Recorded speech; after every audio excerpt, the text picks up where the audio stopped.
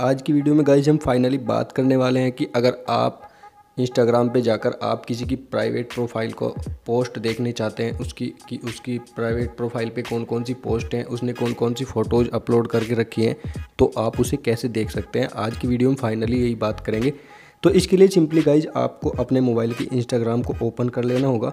तो देखिए मैं यहाँ पे इंस्टाग्राम मैंने ओपन कर ली है। अब आपको देखिए यहाँ पे क्या करना है, आपको, आप जिस भी प्राइवेट प्रोफ़ाइल की जानकारी देखना चाहते हैं, आपको सिंपली यहाँ पे क्लिक कर लेना होगा और उसे यहाँ पे आपको सर्च कर लेना होगा। देन आप यहाँ देख सकते हैं दिस अकाउंट इज़ प्राइवेट अब आपको देखिए यहाँ पे आके प्राइवेट का ऑप्शन देखने को मिल जाता है। आप यहाँ पे इसके ना फैंस देख सकते हैं, ना फॉलोअर्स देख सकते हैं, ना पोस्ट देख सकते हैं।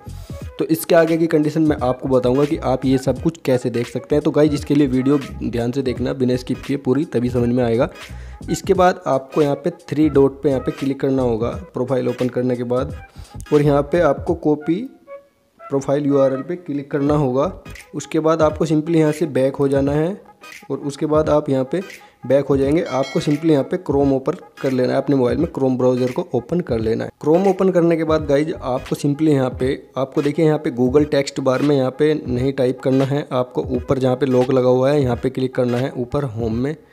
उसके बाद आपको यहाँ पे सिंपली जो लिंक आपने इंस्टाग्राम से कॉपी किया था, वो यहाँ पे आपको पेस्ट कर देना है। तो पेस्ट करेंगे तो इंस्टाग्राम की कुछ यहाँ पे वेबसाइट खुल जाएगी। आप इस पर क्लिक कर देंगे या आप डायरेक्ट सर्च बटन पे क्लिक कर देंगे। तो देखिए यहाँ पे कुछ अब इस तरीके का इंटरफेस आ जाएगा। अब गाइज़ आप देख सकते हैं ये अकाउंट यहाँ पे अभी भी प्राइवेट है, लेकिन इसमें हम अभी भी यहाँ पे कुछ चीज़ हम देख सकते हैं और डाउनलोड कर सकते हैं। देखिए इंस्टाग्राम एक बहुत बड़ी प्लेटफॉर्म है। बहुत हाई सिक्योरिटी के साथ है। आप किसी भी तरीके से अगर किसी यूज़र ने इंस्टाग्राम पर अपनी प्रोफ़ाइल को लॉक कर दिया है तो आप कितना भी कोशिश करें तो उसकी जो प्राइवेट जानकारी है आप नहीं देख सकते। लेकिन यहाँ पे आके कुछ हमें ऑप्शन मिल जाते हैं कि हम यहाँ पे क्या कर सकते हैं। कुछ तो है जो हम यहाँ पे देख सकते हैं। तो देखिए उसके बाद आपको सिंपली यहाँ पे आ, इस प्रोफ़ाइल पे क्लिक करना होगा इसकी डीपी पे। और देखिए अब यहाँ पे मैं डीपी पे क्लिक करता हूँ तो हमारे सामने क्या आता है?